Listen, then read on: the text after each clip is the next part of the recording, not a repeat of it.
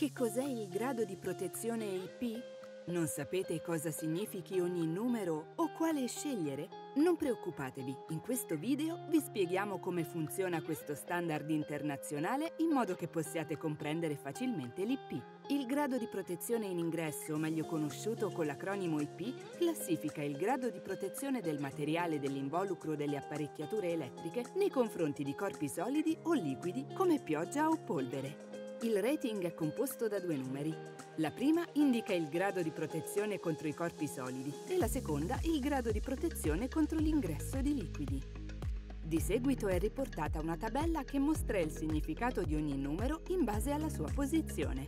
Come vedete, più alto è il numero, più resistente è il materiale della copertura. Se un criterio non è stato testato, il numero viene sostituito dalla lettera X ad esempio, IPX6 significa che il materiale non è stato testato contro la penetrazione di corpi solidi. Perché è importante? Se cercate apparecchi per illuminare un bagno, una terrazza o un giardino, questo è un criterio da tenere in considerazione per motivi di sicurezza e di durata.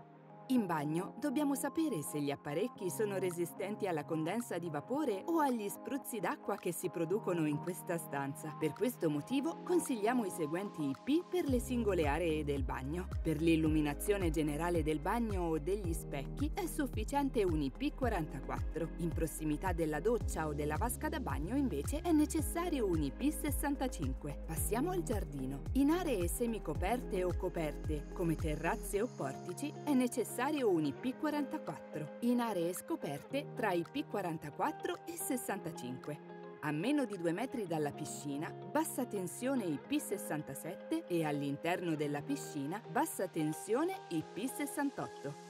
Se cercate lampade con un IP specifico, potete accedere al nostro sito web e filtrare in base al grado di protezione desiderato. Con questo speriamo di aver risolto tutti i vostri dubbi sull'IP. Se avete domande, potete lasciarle nei commenti. Inoltre, se volete imparare altro ancora sull'illuminazione, non dimenticate di iscrivervi al nostro canale.